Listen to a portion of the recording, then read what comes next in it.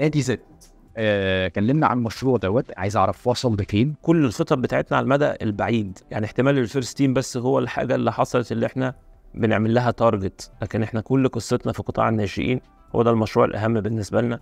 عندنا مشروع كبير في 6 أكتوبر دلوقتي بنعمله عدد من الملاعب كبير جدا. بنعمل أكبر أكبر مجمع ملاعب في الشرق الأوسط هيبقى عندنا target إن إحنا يبقى عندنا عدد كبير جدا من اللعيبة. بنعمل إحنا دلوقتي عاملين شراكة مع أستون فيلا.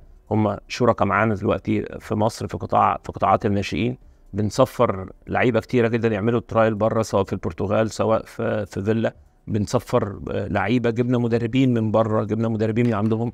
عندنا الكابتن علاء نبيل هو رئيس المنظومة. عندنا مارتن واحد من الكبار جدا في العالم في, في مجال ال youth شغال.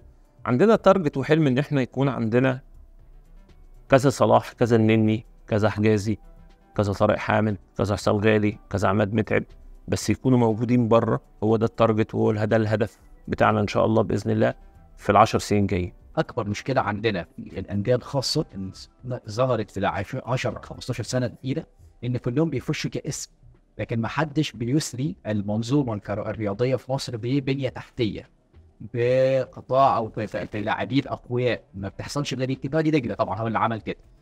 فلو حضرتك عملت الملاعب دي أعتقد دي خطوة أولى إن أنتوا تبقوا فعلا اسريتوا المنظومة الرياضية في مصر ببنية تحتية قوية. بعتقد مصر كلها محتاجاها.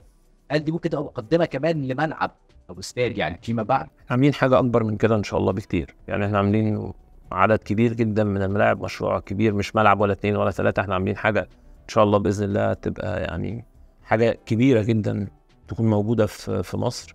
عندنا plan ليها مختلف و target و target مختلف إن إحنا كل الأولاد اللي عندنا يتمرنوا في وقت واحد. الملعب يتلعب عليه ثلاث ساعات بس في اليوم لمدة أربع خمس أيام. هي هو ده عشان تلاقي الملعب أصلا لأن كل ملعب ليه صيانة بشكل معين وليه قصة وهو ده اللي بتبوظ الملاعب ان إن هو الملعب اللي بيتلعب عليه first team هو اللي بيتلعب عليه قطاع الناشئين هو اللي بيتمرن هو اللي بيتلعب عليه ماتشات. بتبقى هي دي المشكلة. القصة اللي, أنت بتقولها وهي دي قصة مهمة جدا. الرياضة هي صناعة طويلة المدى واستثمار محتاج ملاءة مالية ومحتاج جراءة ومحتاج رؤية ومحتاج وقت. أي استثمار بتاع هزرع النهارده واحصد بكرة ده مش هيبقى موجود مش في الرياضة. المهم إن أنت تلاقي المستثمرين اللي عندهم الرؤية والقناعة دي. زائد النهارده إن يكون الرياضة جزء كبير من marketing مشروع. زد هو مشروع استثماري كبير ما شاء الله دلوقتي بره الرياضة.